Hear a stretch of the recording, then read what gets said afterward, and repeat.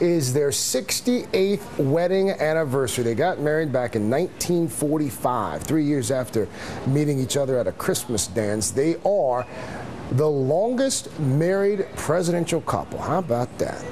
January 6th must be a lucky day for the Bush family. It was also on this day back in 2001 when a joint session of Congress declared George W. Bush president elect. The Supreme Court finally settled the bitterly contested election that came down to just five electoral votes. It was actually Al Gore who declared the winner out loud to Congress, but not before congressional members staged one final protest. This is the NBC nightly news story from that day.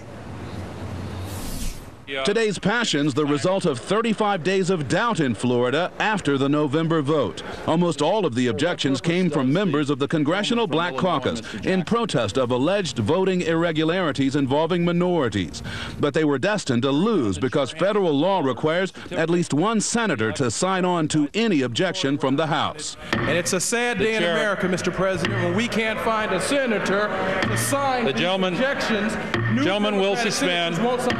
The objection is in writing, and I don't care that it is not, it is not signed by a member of the Senate. The, uh, the chair will advise that the rules do care. And uh, the, the in the end, members of the Black Caucus walked out, venting their anger at both parties in a news conference. We will never get over this. We will take this, I personally will take it to my grave.